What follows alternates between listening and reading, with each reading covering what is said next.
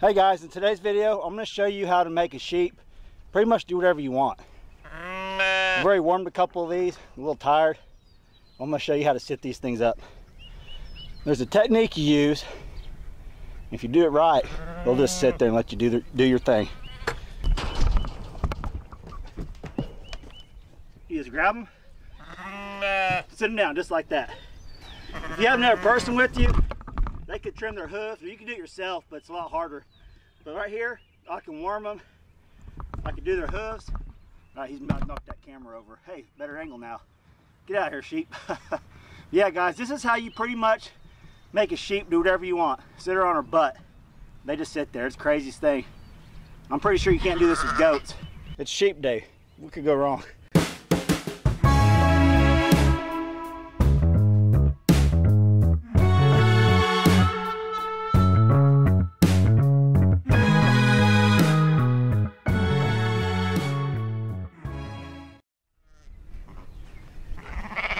You guys, this one's a little one. Um, they'll get some of the dewormer from their mom, but since I caught it, I'm gonna give it a little bit.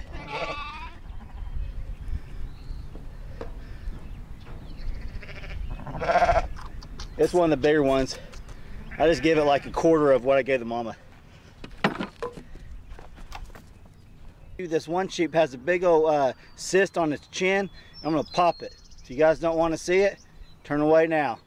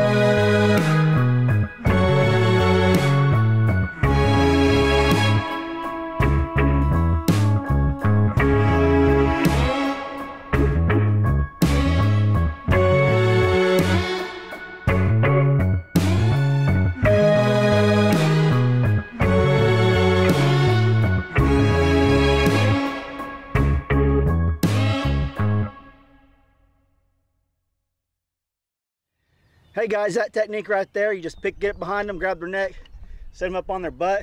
That's how I worm my sheep. Um, I have a little makeshift corral.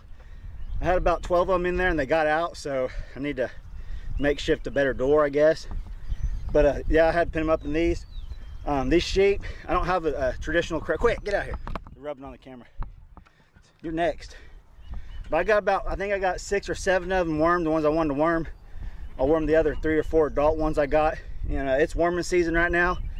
Actually for dorpers it's always warming season but uh, springtime you really need to make sure you get the wormer on. Them get out of here. This sheep just wanting to mess with this tripod. But yeah guys i just want to show you that.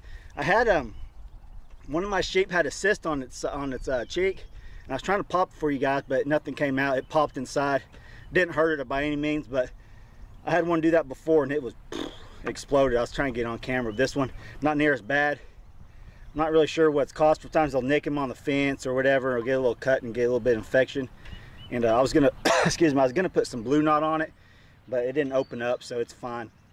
I got her wormed. I got, like I said, I think I got six of the adult uh, ewes wormed. I got two or three more I need to worm. Um, I wormed a couple of the bigger ones, bigger lamb ewes, and uh, they should be good to go. And uh, usually they say you don't have to worm uh, the baby lambs if they're still nursing because they'll get it through their mom, which which makes sense to me. But I'm getting ready to pull these bigger ones off their mamas anyway, so I already had them pinned up, so I figure why not just go ahead and shoot some wormer, dewormer down them. But all right, guys, hope that helps you. If you guys are new to sheep and you're like, man, how do you how do you handle these things? Get behind them. I grab their neck, get my hand underneath their belly, boom, just lift them up like that. I'll show it to you guys one more time, and uh, you guys will get to him. They just sit there like that. You know, you do whatever you want to. I'll show it to you one more time. As long as my sheep don't knock this over. Get back. They're real curious.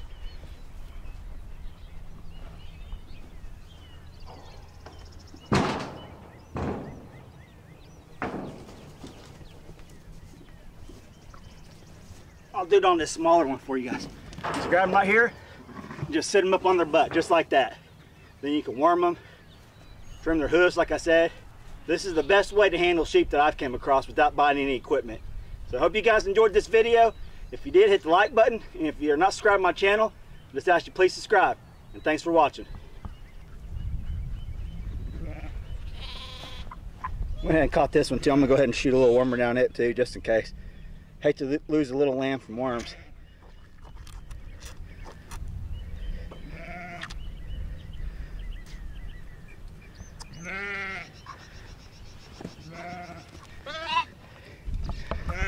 You can use pretty much wherever you can get down their throat.